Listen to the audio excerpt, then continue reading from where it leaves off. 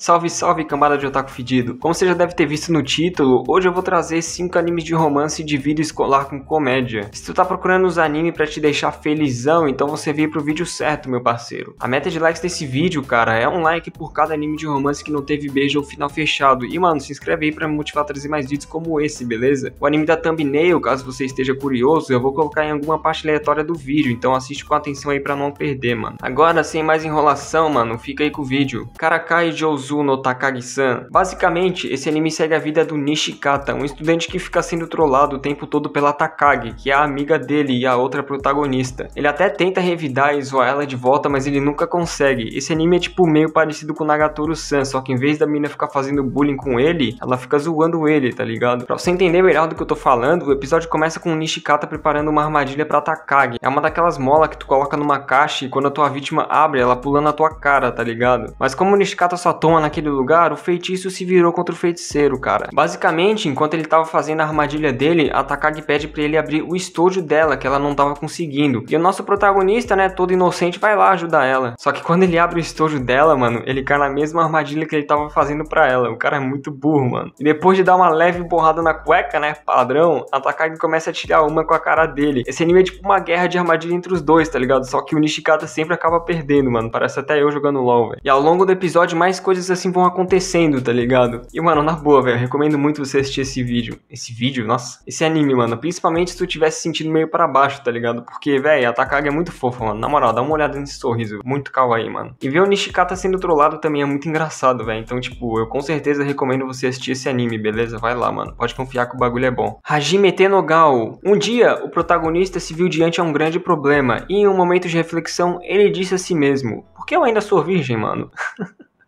Basicamente, esse anime segue a vida do Junichi Hashiba, um estudante que não aguenta mais ficar atolado sem namorada, tá ligado? E o anime já começa com ele e os amigos dele na escola, reclamando que eles não dão uma dentro. Aí então aparece a amiga de infância dele, a Nene, que veio dar pra ele, quer dizer, veio dar pra ele o almoço dele que ele esqueceu. E claramente, essa mina é a irmã perdida do Ozaki-chan, mano. Olha isso, velho, e decai tunado no nitro. E fica meio óbvio que ela mija um tangue por ele, mas ele não quer nada com ela porque pra ele ela é como se fosse minha irmã, tá ligado? Ou seja, o prota só é é virgem porque ele mesmo quer, tá ligado? Aí ele e os amigos dele começam a ler uma revista no meio da aula, uma revistinha um pouco errada, tá ligado? E quando alguém chama a atenção dele, ele joga a revista para longe no susto. E ela cai na frente da belíssima Yuka Nayame. Ela é uma gal, que é tipo uma mina que se veste com saia curta e usa decote, tá ligado? E os amigos dele falam para ele que esse tipo de mulher é fácil, mesmo que eles não tenham nenhuma certeza disso e tenham absolutamente zero informação sobre o assunto. E o Prota, né, seguindo a dica dos amigos virgão, decide ir lá para pedir para ficar com ela, mano. E a mina ainda acaba aceitando, velho. Como assim, velho? E, mano, basicamente, cara, a história começa a partir desse ponto. Basicamente, cara, quando eu fui assistir esse anime para poder fazer esse vídeo, tá ligado? Eu fiquei me perguntando, velho. Mano, por que que japonês tentaram, velho, com ficar passando vergonha na frente de mulher, mano? Porque, velho, eu me pergunto de verdade isso, velho. Se tu for assistir esse episódio, mano, tu vai ver que essa provavelmente é a confissão mais vergonha alheia de todos os animes, mano. Tipo, o cara não só pede, ele implora, mano. O cara coloca a cabeça no chão e quase lambe o chão, tá ligado, velho? E a mina ainda gosta disso, tá ligado? Ela fica tipo assim, nossa, você é engraçadão, moleque. Você é engraçadão, você é muito gado. Agora eu quero namorar com você, só porque você é gado, é nóis, tamo junto. Tipo, mano, isso não faz muito sentido, velho. Mas beleza, né? Aparentemente japa tentaram com essas coisas coisa, velho. Vai entender esses malucos aí, né? Beleza. E, mano, apesar do que eu falei aqui, velho, apesar desse anime ser bem estranho, cara, ele até consegue ser bem engraçado, porque o Prota é um virgão e ela já é muito mais experiente e popular, tá ligado? E isso gera vários momentos interessantes entre eles. Então, é isso, cara. Eu não tenho nada demais nesse anime, na verdade, mas eu recomendo você dar uma chance para ele para ver como é que é, cara. É aquela típica comédia romântica de adolescente na escola, mas é até que da horinha. Especial A. Eu nunca tinha ouvido falar desse anime, até eu procurar alguns animes para poder fazer esse vídeo, mas, cara, eu gostei pra caramba desse anime, velho. Tipo, realmente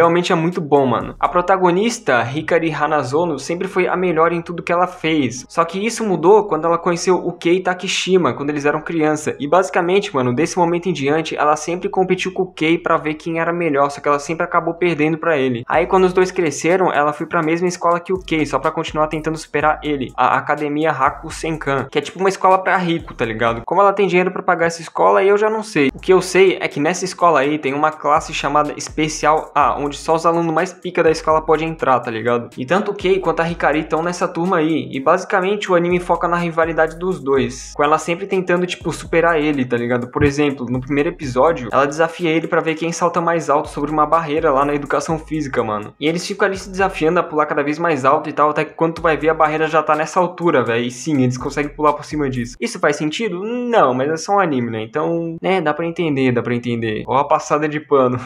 mas é, mano, não tem muito que eu falar sobre esse anime, porque se eu falar mais alguma coisa aqui, pode ser que eu dê spoiler, porque a história é bem simples, tá ligado? Mas só porque a história é simples, tipo, não quer dizer que ela seja ruim, velho. Na verdade, o Kay, mano, ele parece ser um cara cuzão e tal, mas conforme tu vai assistindo, tu percebe que não é bem assim. E é bem da hora acompanhar a rivalidade deles e o romance, mano. E a história te prende assistindo, tá ligado? Dá pra maratonar facilmente esse anime aqui, velho. O bagulho é bom demais, mano. Então, se tu não conhece esse anime, cara, ou nunca assistiu, eu recomendo pelo menos dar uma chance para ele, velho. Anota aí na sua lista, no seu bloco de notas, tanto faz, mano. Deixa o nome dele separado, cara, porque esse anime vale a pena, beleza? Gekan Shoujo Nozaki-kun. Imagina você juntar toda a coragem possível para se confessar pra 10 10, mas quando finalmente chega a hora, mano, tu dá aquela brochada e diz que é fã dela, tá ligado? Como isso é possível? Não sei, mas é o que acontece com a protagonista, a Sakura Tio. Basicamente, o anime começa com ela indo se confessar pro Nozaki-kun, que é o cara que ela gosta. Porém, acontece o que eu acabei de falar, tá ligado? Ela diz que é fã dele em vez disso. O cara pega e dá um autógrafo pra ela do nada, tá ligado, mano? É que esse cara aí, na verdade, o Nozaki-kun, ele é um mangaka, tá ligado? E ele pensou que ela tava lá porque ela era fã do mangá dele. Só que não, ela nem sabia que ele tinha um mangá, tá ligado? Então, ela diz pra ele que quer ficar com ele para sempre. Eu acho que é meio autoexplicativo que ela quis dizer com isso, né? E adivinha só o que o Nozaki faz. Ah, entendi. Vamos pra minha casa depois da aula, então? Ah, e, e pra casa depois da aula? O que será que ele quis dizer com isso? Será que ele quer fazer a, aquilo? E quando eles chegam lá, mano, a Nozaki fica um pouco animada e já chega dizendo: Então, Nozaki-kun, eu sou toda sua. Pode fazer o que quiser comigo essa noite, beleza?